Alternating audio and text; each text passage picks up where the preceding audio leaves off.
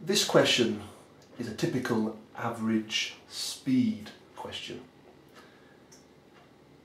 And the question is really saying is that in the two and a half hours, will she travel that far or not? Now, average speed means that every hour she will cover 65 miles. So if she travelled for two and a half hours, how far would she go? Well, two hours would therefore be 130 miles. Now, half an hour would be half of this, which is 32.5 miles. So, two and a half hours would be that plus that, which is 162.5 miles.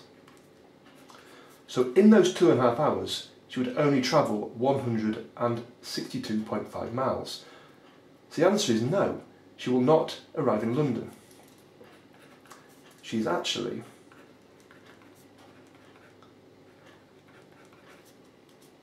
six point five miles short.